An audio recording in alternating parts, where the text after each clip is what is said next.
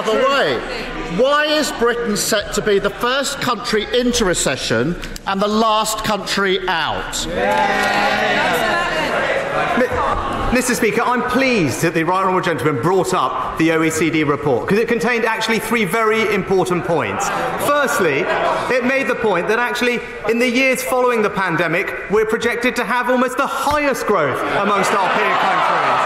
It, it also it, it, also, it also made the point, it was crystal clear that the challenges we face are completely international in nature.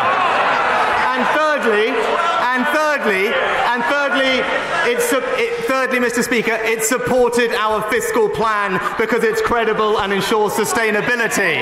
Now, the right honourable gentleman would have known all of that if he actually read the whole report. But, but he's not.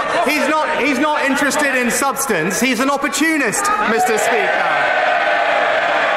In, in, in four weeks, Mr. Speaker, in, in four in four weeks in four weeks I've in four weeks I've strengthened the economy. We've put more money into the NHS and schools.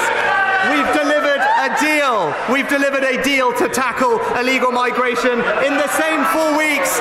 In the same four weeks, all we've.